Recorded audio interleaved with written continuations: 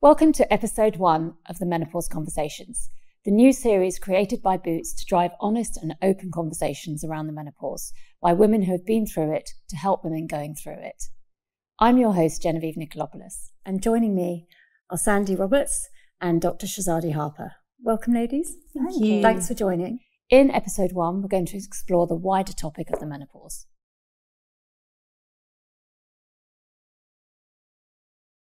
It's said that 92% of women going through menopause feel unprepared, and over half the women in the UK feel isolated and unsupported. This is a ridiculous statistic for something so natural as the menopause that every woman is going to go through, and I'm sure you ladies will agree with me. Mm. It can't go on. So we want all women, and we mean all women, to join this conversation. So let's start with the basics. What actually is the menopause? What's the definition of menopause? What causes it, and how long does it last? So over to you as the expert, Shahzadi. Yeah, so menopause for most women is a natural process in their, you know, in their life cycle. And I say for most women because, you know, some women may get propelled into it through uh, sort of surgery or for medical reasons. Um, and the official definition of it is the sort of permanent cessation or the permanent end of your periods. Um, and you know this when you've had 12 months without a period. And so for most women, it's around the age of sort of 51. But, you know, for um, some women, because of an earlier menopause. It may happen sort of under the age of um, 40, um, maybe due to chemotherapy, radiotherapy, surgical um, surgery, um, autoimmune diseases. Um, and what's actually going on in your body um, during this process is that your ovaries, which normally produce the female sex hormones estrogen and progesterone, the levels of these start to decline. Delightful.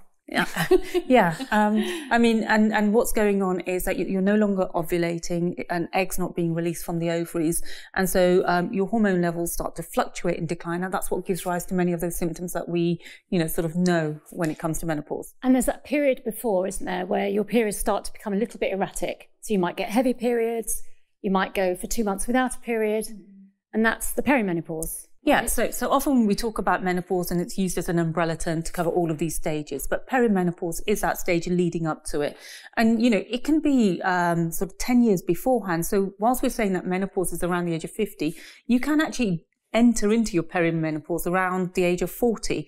Um, on average, for most women, it is around the age of sort of 47, so more into their later 40s. Um, it can last for sort of four to eight years, but for some women, even longer than that. And yes, it's those, those symptoms that we've often heard about, you know, the typical ones, for example, things like sort of uh, those mood changes, but also, you know, your periods changing, your cycle length changing. So periods can become lighter and heavier. Many women experience flooding, um, when it comes to their periods. Also, the cycle length can change. So often, you know, in those earlier stages, it might just be that your cycle has shortened a little bit. So gone from a, a 30 day cycle to a 26 day cycle. But over time, you'll find that it gets more and more spaced out. And, and interestingly, the perimenopausal years are actually a lot longer because the menopause itself only lasts a really short time, doesn't it? So, so the menopause, it's like a day. Yeah, it is. The menopause is your last official period, and the stage after that, sort of a year after your last period, is post-menopause. And you know, women can lead lead forty percent of their lives post-menopause. Um, the other thing to understand is just because your period stopped doesn't mean your symptoms will stop automatically at that point in time. Yeah. You know, hormones are still declining. Your hormones haven't officially just stopped, kaput. Your ovaries are still producing a small amount, but it's on that sort of wind down, and you know, sort of three to four, five years, you know, post menopause is usually when your um, hormone levels really deplete. Oh. yes. And that's how a lot of women feel, yeah. interestingly. And I think what's been a real struggle, I think certainly for me, because I, well, I'm postmenopausal now, aren't I, clearly, um, at the age of 60. And I when I when I started going through my menopause, which was probably around the age, well, it was probably way before 53, mm. but it was over seven years ago and over seven years ago because I didn't even know the word perimenopausal then, yeah. and no one talked about menopause seven yeah. years ago. And so, you know, you start to go through these through these symptoms, not really knowing what's going on, and there's nothing out there. And even now, you know, trying to find women often contact me, like trying to find the support you need it's really difficult, isn't it? Yeah, it was the same for me. I I was so shocked to find out that I was perimenopausal, the same as you. I didn't, I'd never heard the word perimenopausal. I'd heard of menopause, yeah. and the only symptom I'd actually heard of was hot flushes. Yes. And your period yes. stopping, and that was the only symptoms. And I uh, still get periods, and I don't get hot flushes. So I was very bemused by my symptoms, thought I can't be menopausal. Um, so when I found out that my symptoms were down to being perimenopausal, I was so shocked. I didn't actually know what to do. And we don't get educated. We don't know what to look for. Um, my mother wasn't educated, so she couldn't educate me. So I do mm. feel like there's a lot of people who come into this stage of their lives um, shocked at the fact that they are perimenopausal. It's really interesting. I'll just pick up on something there about you said about the hot flushes and you didn't get hot flushes because I had this with a lot of my friends who were well into their, let's say, mid 50s. And they would say, Well, I don't get hot flushes, so I'm not menopausal. Mm-hmm. But I could see them becoming angry, irritable, huge anxiety, not sleeping at night. And I was like, I'm really sorry to say this, but you are 55. You are if you're not menopausal, you're definitely perimenopausal. Please go and see a doctor and just get your bloods checked. Well, I think that's where the misconception is, you know, that it's hot flushes, mood changes, periods yeah. stop, um, you know, that it's just a one day event, you know, it must be associated with, um, you know, it, it's just all about your periods and hot flushes. And I think that's where we have to sort of change that narrative. I think we've grown up with thinking that, and it's also been quite a negative narrative. Many people don't know about the psychological symptoms. You know, you've touched upon some of those like anxiety, but also things like feeling insomnia, um, you know, feeling low in mood, flatness of mood, joint pains, aches and pains, mm-hmm. and brain fog. And all of these things not only affect um, the woman herself, you know, in the here and now, but also in the sense of, you know, her her relationships at work with her partner, with her mm-hmm. children. Um, and that's why we need to have these more and more open conversations to recognize that there are, you know, we talk about 40 symptoms, 50 symptoms, but there are a hell of a lot more symptoms than just hot flushes yeah, and, exactly. and, and, and, mood changes. And there's really rare symptoms like tinnitus, we were talking yeah. earlier, or vertigo. Um, yeah UTIs. I mean, that's another one that you that's, just don't. That was one of mine. Yeah. I had so many UTIs that I just ended up on long term antibiotics that was really unnecessary because I had one of the less talked about symptoms, which is vaginal atrophy, and it went untreated for three years because it wasn't put down to being perimenopausal and I just had antibiotic, antibiotic all the time. So that was really unfortunate. Had we had more education, had we had it been now, I think people know to look out for these things. And that's one of the reasons I talk about it so much mm. is hmm. because we need to be feel less shame about these things. Exactly. And then we can be aware yeah. and get the right treatment at the right time. Yeah, exactly. But also to understand that, you know, our hormones are so important. And particularly some of the symptoms that you've talked about are due to that decline in estrogen. Yes. You know, estrogen um, is a hormone which is responsible for sort of vaginal lubrication, but also, you know, so, some of that sort of Wi-Fi that I say within the brain, you know, the connectivity that we have.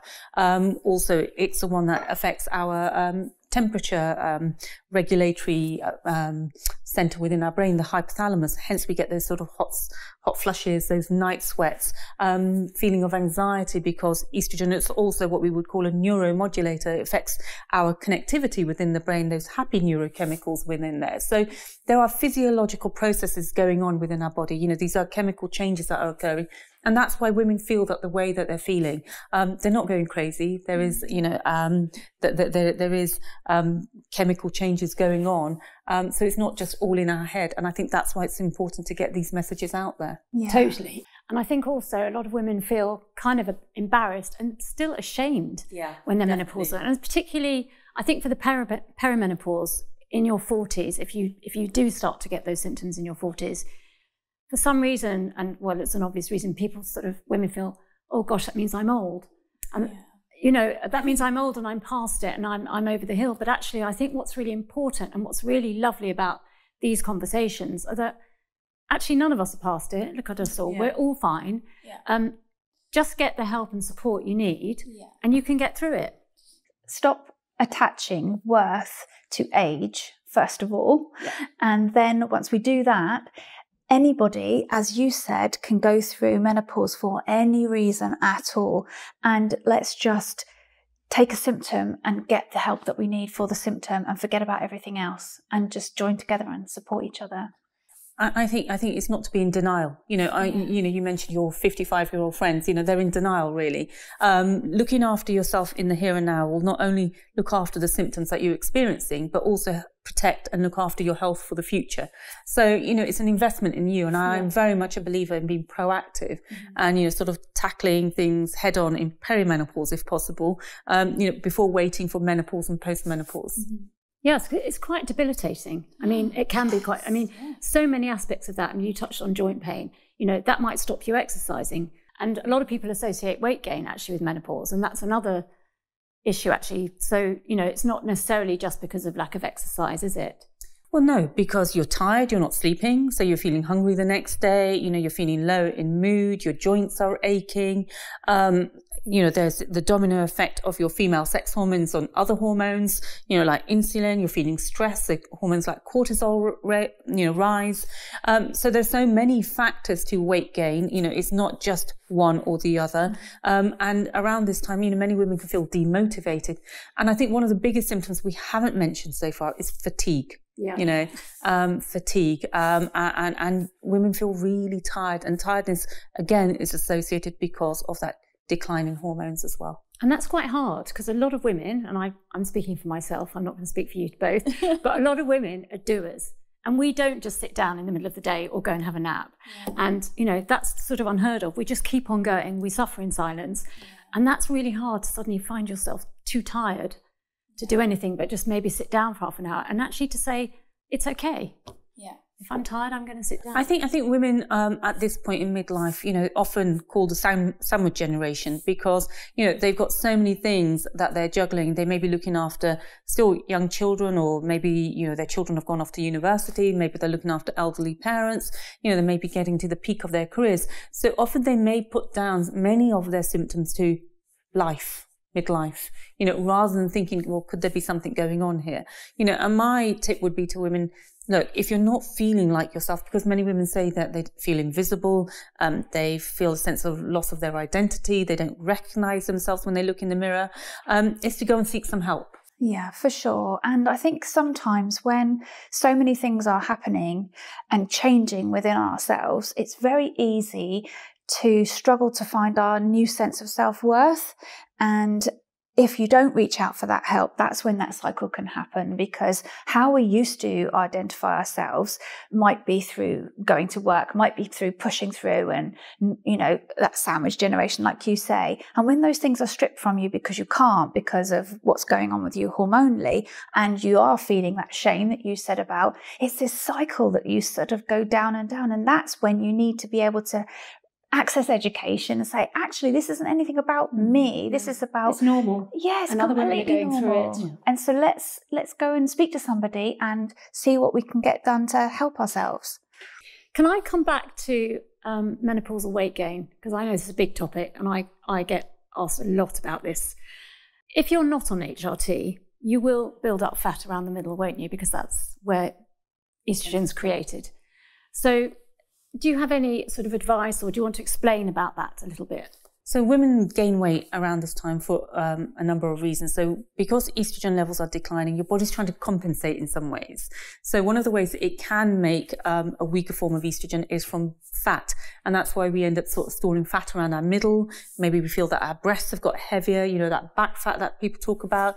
But also it affects the other hormone, insulin. Insulin helps to process our, um, you know, carbs and our sugars efficiently. So many of us have, um, you know, are not processing our, our carbohydrates and sugars in the same way that we used to be able to as efficiently. And again, that means that we end up storing um, that sort of those calories as fat. So, um, you know, the things that we can do are things like sort of we talk about movement, exercise, uh, you know, maintaining um, activity levels um, can be hard. Again, you know, if you're feeling tired and mm-hmm. demotivated. Um, also, looking at what you're eating, you know, that sort of blood sugar balance, you know, reducing down on your carbs, eating the kind of foods which help to sort of level out and slow release carbohydrates. But let's not forget we're also aging. So as we age, we also need a little bit less calories as well. So our intake needs to reduce I mean, roughly around 200. yeah, about 200 calories. But the other changes that are also happening are things like we're losing muscle mass. Mm. So I've touched upon the hormones estrogen and progesterone, but there is a third hormone um, called testosterone, which helps to sort of maintain our muscle mass. And that's also declining, but that's been doing so since our sort of mid to late 20s. So we lose muscle mass. And again, you know, muscle helps to burn off calories a bit faster. So if we've got less muscle, then we're also ending up storing more fat. Um, so there are lots of factors. And again, when you're not sleeping, you're feeling hungry the next yeah. day and you're feeling full hormone leptin um, isn't working as efficiently as well. So I often describe this like a dog chasing its tail. You know, you're you're then going out reaching for sort of carbs and caffeine and sugars to give yourself that energy and boost, but you're never feeling full. Um, so so there are many reasons, multifactorial. You know, the weight gain, but it all seems to kind of come at this midlife when we've got so many other things going on, and also stress levels, cortisol levels, which also contribute towards it as well. It's a lot. That's so much. If you think about it, no wonder we struggle. That is, it's almost like somebody needs a master's degree to get through menopause. Here we are. well, and I, I think I think it's about knowing. I think the problem is, like you said, you know, like we've been saying, we haven't really been taught much about this no. growing up. We, we're not prepared, no. and I think preparation is key because you know, whilst we've talked about many of the sort of symptoms and maybe what seem like the negatives about it, it can be a real flourishing time of life if you're prepared, if you know what's going on, if you know that, you know, some days, you know, things are going to feel a bit better than other days, but that's okay. That's not what your self-worth is based on. And you get the help that you need. Yeah. I think that's really important. And I think so many women suffer in silence. So I think that wraps up the first episode. Thank you, ladies, for being so open and honest. I hope everybody's enjoyed the conversation as much as we have.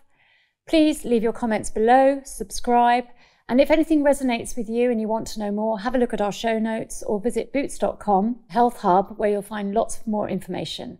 Please share with all your friends, and we look forward to seeing you next time, where in episode two we'll be talking about hot flushes.